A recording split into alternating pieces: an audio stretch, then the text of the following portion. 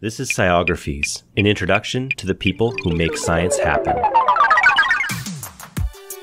I'm your host, David Barclay. I'm an oceanographer with the Faculty of Science here at Dalhousie University. And on Sciographies, I interview different types of scientists about what shaped their interests, their career path, and how they get their research ideas. Thanks for joining us. In this special alumni episode, done in partnership with Dalhousie's Open Dialogue Live series, we talk to Dr. Will Burt. He's a chemical oceanographer and the chief ocean scientist of Planetary Technologies, a carbon removal company headquartered right here in Nova Scotia. Dr. Burt did his PhD here at Dal and now partners with the university to study an ocean focused climate solution called ocean alkalinity enhancement. It's an approach that harnesses the ocean's natural ability to capture and store carbon dioxide from the atmosphere. Dr. Burt talks to us about discovering his interest in oceanography and the ocean acidification problem, leaving academia to work in industry, and what it's like to be on the front lines of fighting climate change. So, why does your Dal Oceanography Intramural Team jersey, number two, hang in the Dal Oceanography Student Lounge? Okay, so I started uh, at the Dal Oceanography Department in 2009. There was no intramural sports of any kind, uh, which I'm fundamentally opposed to as a human being. Mm-hmm. So I launched a team. I called the person organizing. He said, "You need to give me a team name mm-hmm. right there on the phone." And so I I said, "Give me an hour." And Sea Dogs was the uh, choice I came to. The other choice for those listening was Oceans of Talent. uh, but I was told that was a poor choice. So we went with Sea Dogs, yeah. and therein was the, the birth of that uh, yeah. franchise. Okay, so that brings me back to where I really want to start, which is have you always been an athlete? I went to a very small private school, mm-hmm. elementary school, and so being able to, you know, do anything athletically made me a elite athlete at this very small school. I think my first word was ball. Really? According to my mother. Wow. Uh, can't confirm that. But uh, so I've been obsessed with with sports since I could yeah. talk. Obviously, you're sports obsessed, but were you a really academic uh, person as well? Uh, my mother uh, is an academic. Mm-hmm. She always pushed us very hard at school. And she's also a scientist. And that sort of led my sister and I to both fall towards the sciences. It also helps that I have no artistic skills mm-hmm. really of any kind. So sort of a default. So paint a picture for me, Kitsilano High School. What are we uh, what are we doing for fun? Well, I was a bit of a loner uh, coming out of private school and going to a very large public school. If it weren't for my big sister, mm. uh, I would have been in a heap of trouble socially. So I, I, actually ended up leaving that school because I got into the outdoor ed program okay. called Trek. Mm-hmm. And my life completely switched in a huge way that year. I went from being a very shy kid with few friends to being a, a much more, well, that's not exactly who I am now. Shy mm-hmm. wouldn't be the first no. word you'd use to describe no. me. But it all shifted on a in that one year in outdoor ed class. I ended up going to a different high school after that, finishing at Prince of Wales High School. So this is in late high school. You're finishing up. You have an academic family. You're going to go to university. It's kind of a given. Yeah, I didn't really have a choice. Yeah. Uh, I told my parents I was going to take a year off to yeah. travel and do all the fun mm-hmm. things, and then realized one, all my friends were going to university and two, I had no money. Yeah. So the whole take a year off to travel thing fell yeah. through at the last minute, and I jumped on my UVic uh, acceptance late mm. and uh, and started there. So you didn't really have much choice about university. It was a family given, but the discipline. Did you know what you wanted to study as soon as you arrived, or was that a process of finding yourself? Yeah, definitely was not a budding oceanographer yeah. Uh, when I started. So I knew I wanted to do science and I knew I wanted to do environmental ish science. I feel mm-hmm. like a lot of students probably feel that way. Mm-hmm. I was always better at chemistry than both biology and physics. I ended up in geology, my whole degree essentially, you know, rock formations, rock identification. Big fan of the fieldwork stuff, mm-hmm. I, but I was really bad at mineral identification. Okay. And even worse at like understanding the formations. And yeah, so it was never super passionate about it. And then, uh, so my stepfather mm-hmm. was an oceanographer. Um, and he told me about his Arctic fieldwork. Super cool stories about mm-hmm. going all around the world to study oceanography. And I was pretty excited about Yeah. that. And so in third year university, he got me an interview to go on an icebreaker. Amazing. um, on the Louis Saint Laurent in 2005. I went on uh, five weeks in the Beaufort Sea, collecting water samples like a bottle filling Yeah. kid. That was the shifting point for me uh, in terms of a career choice. And then I shifted into the brand new ocean science minor program at UVic that had just Okay. started. And um, yeah, the rest was history. Okay. And then was graduate school in oceanography an easy decision after that? Or were you still kind of thinking, think about that year off you missed? Did the year off this time. Okay. Because I had money. Yeah. Because they paid well to go Yeah. on a ship and you don't spend any money out there. No. So my last year I did an eight week stint on an icebreaker, which is way too long. Yeah. If you're wondering, don't do that. But at the rate, the daily rate, it just seemed like give me the max days that you'll Sure. give me. And didn't really know what to do with myself until I found out, thanks to I think my mom told me that you get paid to go to grad school. That was like a shock. Yeah. And, um, like paid to go to school. School was the only thing I was really any good at. So that seemed like an obvious Yeah. decision. So how did you uh, choose? Where did you almost go? Well, uh, you know, I'd done UVic. I'm, I didn't want to go to UBC. Yeah, Didn't live at in- home. No That's right. Live at home. And that leaves you with McGill, Mm-hmm. was never good at French, despised it, Mm. regretfully. Uh, so that leaves St. John's and Halifax, really. Yeah. And so I Googled chemical oceanography, wanted someone that did field work Mm-hmm. because that was important to me. And there was really only one person. So I Mm-hmm. emailed him and he said, come on out to Halifax, go on a April cruise in the North Atlantic. Mm-hmm. Yeah. You have a hard time finding volunteers for that Yeah. which I found out why later. So I flew out here. He flew, he flew me out here. I went on the ship for three weeks, and Mm-hmm. um, then I started in September. Okay. What was the uh, coastal change like? How did you find Halifax at the time, especially after living in Victoria? I'm curious to know what, what was the comparison like. Halifax was a lot different in 2009. Mm-hmm. It was a, yeah a smaller town vibe, and Victoria was like that too. But the people are different here Mm-hmm. in a good way. But uh, I was ready to leave after a year or two and finish what I was calling a subpar master's degree. Was Yeah. what I was working on at the time. I was hoping to just finish it. You're grinding. I was playing a lot of Sea Dog soccer. Yeah. Let's put it that way. As my priorities weren't. Um, I wasn't. I guess I just wasn't that into it. I was just wasn't going that well. And then things just sort of changed. I started dating a woman who I am now married to. That's helpful. And my project took a turn. Like it got much more interesting. My data. I got some great data that I was basically strong armed by my committee into becoming a PhD student. I imagine you do that now to students the fairly often. So tell me about the project and how it took a turn. What, what do you do? You know, you mentioned bottle samples. You're just like filling a bottle with water, analyzing it, just plotting that on a thing. You have no idea where you're going with it. Yeah, that and that's all chemi- that's all chemical oceanography is. If you want to be a marine chemist, you fill up a bottle with seawater and you run it through a machine, and there's something in that seawater you're kind of interested in, and the mm-hmm. machine will tell you how much of that mm-hmm. stuff is in there, and throw it on an Excel plot to the dismay of your physics colleagues who all code and you don't. And yeah, so my project was I wanted to do ocean acidification. Mm-hmm. I forgot to mention that part. I thought that was super interesting. Yeah. I had been in the Arctic a lot. It Yeah. was a big deal in the Arctic already back in the early 2000s. And so I think I wanted to figure out ocean acidification in the Arctic. That was like my goal Okay. when I started. You know?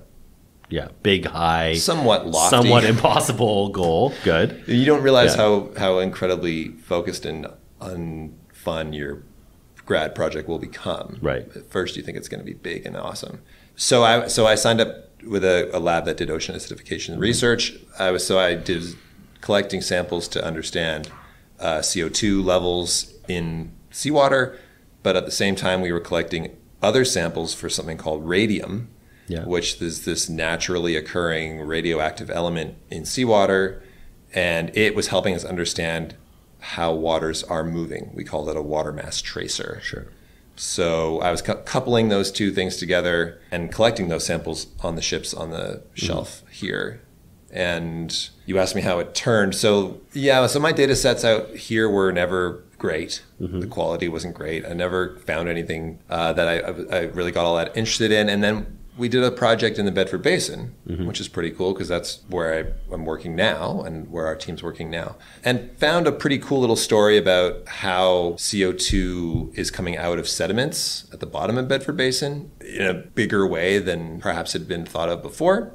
And it was attached to this really cool event where water sort of flushes into the harbor really intensely in the fall. Mm-hmm. But yeah, that was a really cool story. A very tight little package story that I published. That was my first ever publication. Mm-hmm. But at the same time that that was happening, I went to the North Sea in Europe because my boss was a man named Helmut Thomas, and he used to study in the North Sea and was still doing work there. He asked me to come and collect samples and, and uh, as part of a different project but he needed someone who knew how to do it in mm-hmm. a really awful environment to yeah. work. The North Sea is just brutally rough. And so I spent three weeks on a Dutch vessel mm-hmm. and collected data that I thought would be for someone else because I was hoping to finish. Sure. And when that data came back and I sort of presented it to my committee as like, hey, here's what I did last summer. They were like, this is a beautiful data set. You can't give this to someone else. You got to yeah. use, and they were just trying to convinced right. me to stay. to stay. It was very effective. Yeah. And so I still searched on that, like a lot of grad students do. Yeah. But eventually made the decision to switch into a PhD. So your project took a turn. You got this great data set, and and what happens after that? You you, you got everything you wanted out of that data set.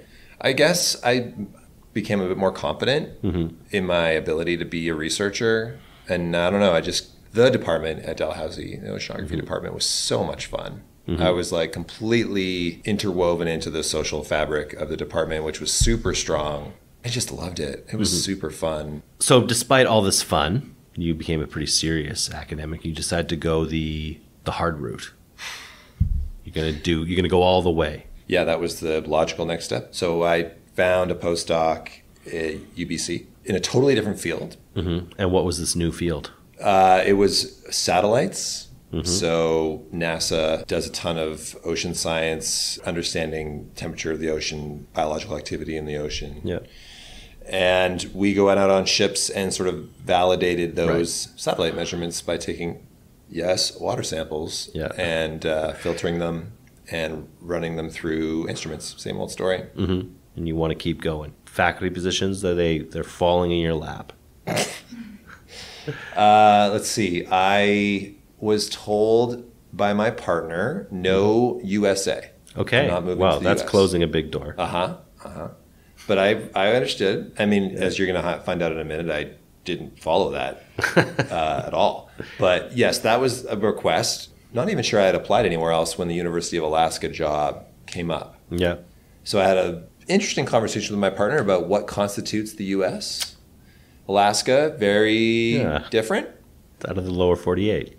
Correct. Yeah, you even got the right terminology there. So we, it was kind of a no, like no, we're not going to do yeah, that. Yeah. But when they invite you to come for the interview and they allow you to bring your, yeah, whoever you want, your partner, they want you to bring your partner because they want to convince her mm-hmm. and you. It was like a sales pitch, a three day sales pitch. Totally. My partner had a great time. Mm-hmm. by the time we got home, we were like, wow, maybe we yeah. Maybe we do want to move to Alaska. I mean, all the puzzle pieces of your life do suggest that Alaska would be a good choice. The wilderness and the, you know, the adventure. Yeah, exactly. It fit it fit our lifestyle. However, it's Fairbanks, Alaska. Mm-hmm. So we're talking right smack in the geographic middle of the state. Yeah. Which is a 9-hour drive from the ocean. Yeah. Which is a big change for me. Yeah. Uh, I still got to spend a lot of time on the ocean because I was still going on ships, mm-hmm. but that was a tough thing to get past. Yeah. But otherwise, yeah, I mean, lots of open space, mm-hmm. lots of adventures to be had. You also had these two different disciplines that you had experience in now. So, what, how did you choose what you were going to do? I didn't. Uh, I became a biogeochemist. Okay. Which is that great word we use in our field to just be like, anything can fall into that category. So I call myself one of those. Yeah. And then I did both things. So I had yeah. two different research sure. streams. So what tempted you away from there back to Halifax? Well, there was a few things. Um, let's see, where do you start? COVID. I guess what tipped the scale was the Delta variant was like now we're in a whole other round of COVID, and it felt like okay, this isn't actually going to end anytime soon. Yeah. And it was really bad there, so we went back into isolation mode, and um, I think yeah, that coupled with our kids starting to go to school soon, Yeah. you know, we just we just had had enough, um, and so we were ready to jump. And then it, you know, I understandably it was it was tough because people in there had invested a lot in me. I was Yeah. succeeding as a professor there. A lot was going well, so me leaving didn't go over super well. Yeah. And you had students as well that maybe were depending on you. I did, I did, and and that was really challenging, really mm-hmm. tough.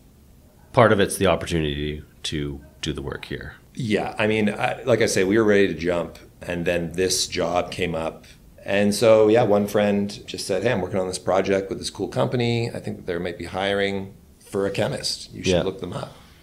And like four weeks later, I had the job. Yeah. Pretty exciting job in terms of timing. Can you tell us a little bit about the work that uh, you're doing with the company? Yeah, so undoubtedly the timing was was incredible, but also the work. I mean, I was preparing for my chemical oceanography course the subsequent semester. I was building lecture material, and all of a sudden I hear about this thing called ocean alkalinity enhancement that I had never heard of. That seemed super cool. And I told them in my interview, I was like, well, even if I don't get the job, at least you've given me like three lectures Sure. of material here Yeah. because this is fascinating. So, yeah, the idea of this field that was emerging and the idea of sort of being uh, the leading edge of that. Uh, and then, you know, of course, being back in Halifax sounded really great. And the job required I work really closely with Dalhousie. And I, like I said, when I was here, I was so ingrained in the social fabric of the department that I knew everybody. And so it was like, wow, it's a dream scenario. I still get Yeah. to be a researcher and I get to work on this exciting new thing and I get to be back in Halifax. I mean, it was a no brainer. Yeah. Can you tell us a little bit about ocean alkalinity enhancement and what the objectives are, and what the pitch is? Because it's a company. I'm allowed Oh to use gosh, that don't make me do a pitch. um, so yeah, the the basic premise of it is that the oceans already naturally take up about a third of all the CO2 we put in the air. All that natural uptake of that carbon dioxide is what has made the oceans 30% more acidic than they used to be uh, because that CO2 reacts and becomes an acid. So that process of natural CO2 uptake has been happening for you know billion years, and it's what has made the oceans the chemical makeup that they are now. This process of the oceans naturally taking up CO2, it happens because rain falls on rocks, dissolves those rocks, mm-hmm. and those rocks end up in rivers that ends up in the ocean and that dissolved rock is alkaline. So that is a natural alkalinity delivery process that has completely shaped our climate for millions of years. If we can just do that faster, Right. sort of artificially deliver more rock that is alkaline to the ocean, it will naturally take up more CO2. Right. Because it offsets the acidification by the CO2, right? Yeah, that's almost like a great bonus. Mm-hmm. So yes, you you will you are intentionally making the oceans less acidic. Mm-hmm. That's a good thing. And in the process of doing that, they become more able to take up CO2. The net result is an ocean with slightly more carbon in it, like almost indetectably less than you had before, because there's already so much in there. And the oceans are slightly less acidic, uh, which we need. Um, we don't need it, but but it's a real problem. And if it were, you know, deployed on a big, big, big scale, you could start making a dent. Yeah. And it's really important to stress the fact that it would be a dent. Uh, it's not a silver bullet. It's one of many solutions that could help. Right. All of which are completely useless without emissions reduction because that's how we're going to get most of the way there. But on top of that, we need to take some of the CO2 out that's mm-hmm. already there if we want to stand any chance of the worst impacts of, of climate change, mm-hmm. avoiding those. So, the really quick version of it is that we're accelerating the Earth's natural process of taking up CO2 and storing it in the ocean. Mm-hmm.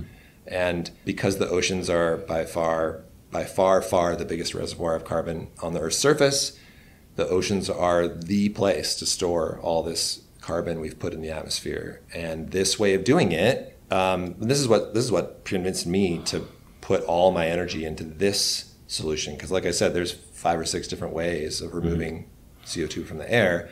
One of which is very close to your heart too, David. Iron fertilization. Mm-hmm. That's been around for 30 years. Mm-hmm and we remember the experiments off the west coast yeah. of Canada, and they were a disaster. Mm-hmm. And um, artificially changing the biology of the ocean has never sat well with sure. me. So, do you not see alkalinity enhancement as a geoengineering tool, or would you not put it under the same umbrella? Because it oh, doesn't I, have that biological aspect to it. If you have to label it, it is a geoengineering tool. Mm-hmm. I think sh- we should be honest and upfront about that. But it is intentionally changing the ocean's chemistry mm-hmm. and not the biology. Right. Now, there may be side effects that impact the biology, and mm-hmm. those need to be you know really carefully uh, studied and, and monitored. But you know, another way of thinking about it is that the ultimate goal is to take CO2 out of the sky. And so that's a chemical process. You can get to that point by changing the biology, and that in turn changes the chemistry. You can mm-hmm. also change the physics. Mm-hmm. You can artificially pump water from the deep ocean to the surface. Mm-hmm. That will change the biology, which will then change the chemistry. Mm-hmm. Why would you do the complicated ones? Mm-hmm. If the goal is to change the chemistry, do the chemistry and just do that. I mean, by no means what we're doing simple, mm-hmm. but it's more direct. And you aren't intentionally changing the ocean ecosystem. Yeah. And I, and I also want to say like this ocean alkalinity enhancement isn't going to work in a vacuum. Like it mm-hmm. needs to be yeah. part of a portfolio, and maybe that does include iron. Who knows? The type of uh, research and experiments that you guys are doing now as a company are these to understand the process or the process's side effects or both? Both. So we've been in the lab now for a couple of years, and Dalhousie was in the in their lab, and it works in the lab. You put a beaker of seawater put some alkaline material in there, you're going to take CO2 out of the air mm-hmm. every time. It's great. Chemistry, beautifully predictable uh, in that regard. But the ocean is a huge, diluting, moving, complicated place and is not a beaker. So, will the process work? And more to the point, will it work in the same efficiency mm-hmm. as it does in a beaker? Probably not. Mm-hmm. What is that efficiency? You know, loss. Is it, you know, is it big? Is it small?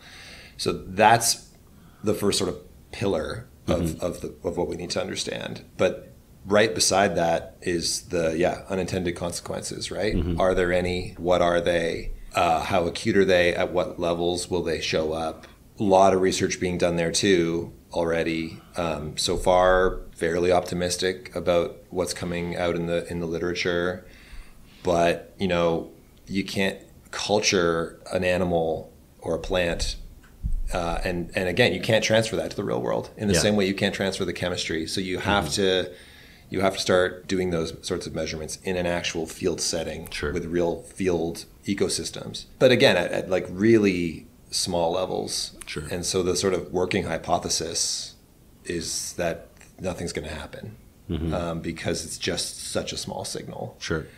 And that's going to be really challenging to work on such small signals because if you can't measure anything, then what are you doing? Yeah.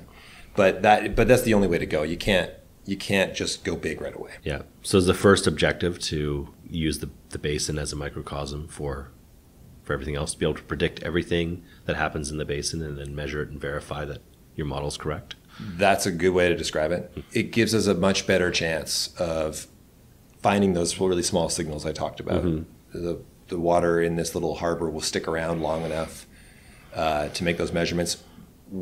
I can get down to the pier to make those measurements in, in eight minutes instead yeah. of nine hours like it used to be in Alaska. Yeah. So being right in the heart of the city is really a big deal for that. Mm-hmm. It's mm-hmm. not um, trivial. So in the first few trials that you guys have done in Halifax Harbor in front of everyone, you've used this pink dye. Did you find that people were asking more questions or you're getting more community engagement in your company and in, in the project? Big time. And that's actually been a great part of those early dye tracer experiments mm-hmm. is that it's putting us much more front and center. You know, once you turn part of the basin pink for a few hours, mm-hmm. people are much more aware now. Mm-hmm. Uh, and that's a really good thing because the last thing you want is for people to, un, you know, oh my gosh, you put alkaline material in the ocean, why wasn't I informed? Um, so you know, every eyeball is is a good one. The first step is making people aware, and at the same time, making sure they have the whole story, um, because this is a really complex issue. Do you think part of this whole experience also tie into sort of the general climatic anxiety that people are feeling? Have you have you noticed a resonance there with that? Oh my gosh! I mean, this new world that I'm in is uh, is a really intense one. You know, I've had people who are climate activists get very upset with me mm-hmm. about the kind of research that we're doing, which always is very frustrating mm-hmm. because it kind of feels like we're all on the same team. Mm-hmm. Uh, at least I want to believe that. This is people feeling anxious about the geoengineering aspects of the research. Yes. And it's people who think that engineering solutions is going to detract from the things we need to be doing, which is emissions reduction. And on one hand, you can see that logic. Yeah. You can, it- it's logical.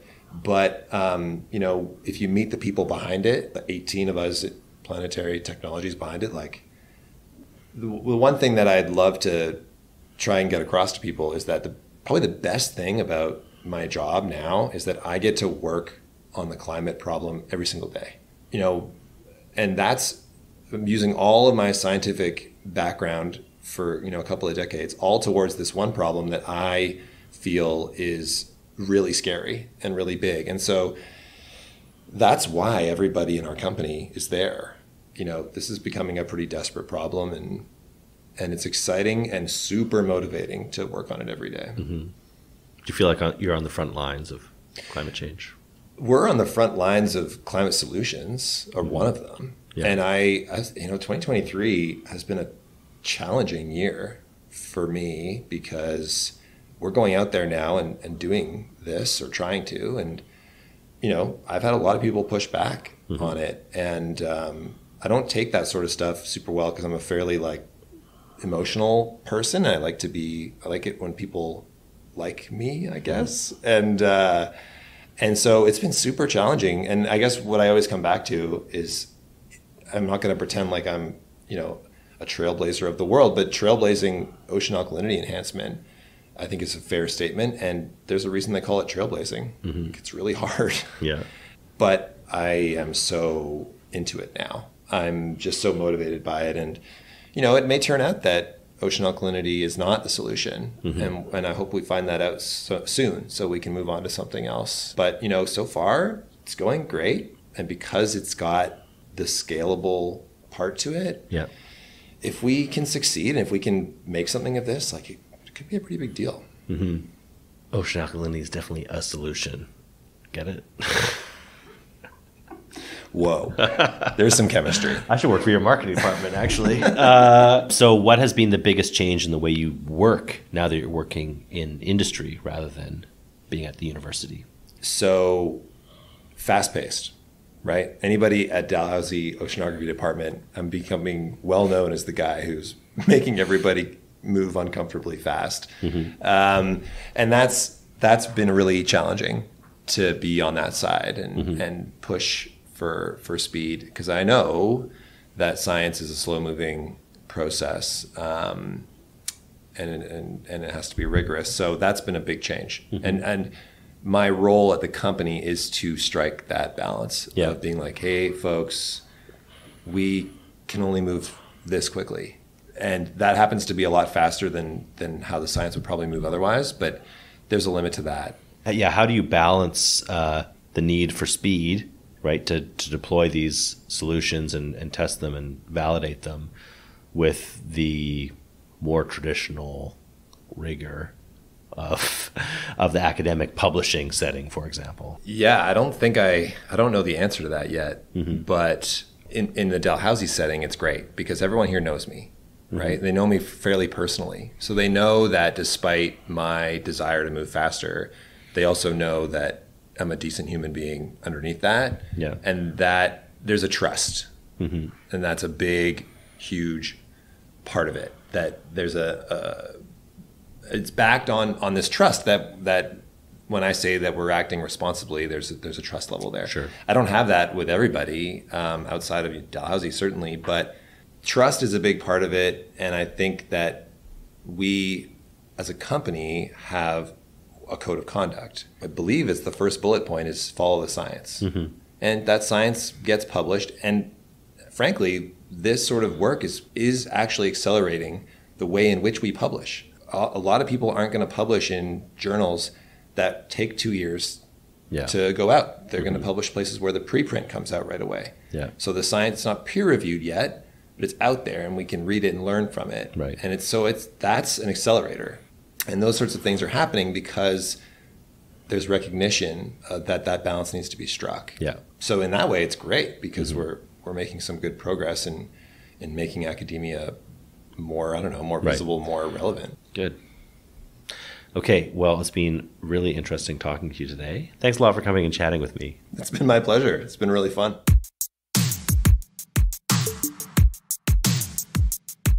That's a wrap on season five of Sciographies. We want to thank all of our listeners for following along with us, and of course, all of our guests for sharing their personal and professional stories. And a special thank you to our partners at CKDU who help us get these episodes out into the ether. Our producers, Nicole Killowy and Jocelyn Adams Moss, who plan, edit, and promote each episode. I just show up. Our graphic designer, Luke Smith, and our photographer, Nick Pierce. If you're missing Sciographies, you can listen to any of our 36 episodes wherever you get your podcasts.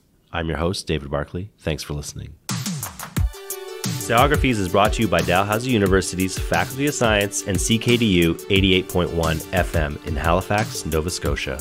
You can learn more about Sciographies at dal.ca slash Sciographies.